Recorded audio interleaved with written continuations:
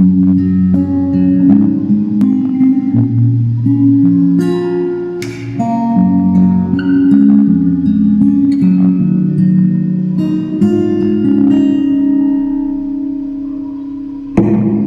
now.